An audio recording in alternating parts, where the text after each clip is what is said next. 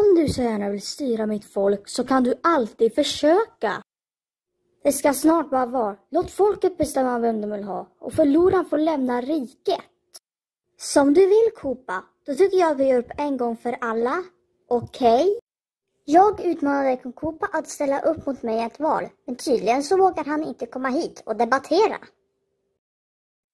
Oroa er inte, jag ska tala på svamprikets jubileumsbriefing och där påminner jag dem om hur han verkligen är. Svampfolk, fråga inte vad Kopa kan göra för er idag, utan vad han gjorde för er igår.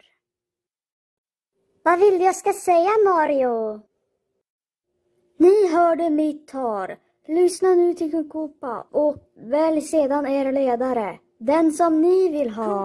Kung Kopa, jag hörde just att du använde en godhetstryck för att försöka vinna valet.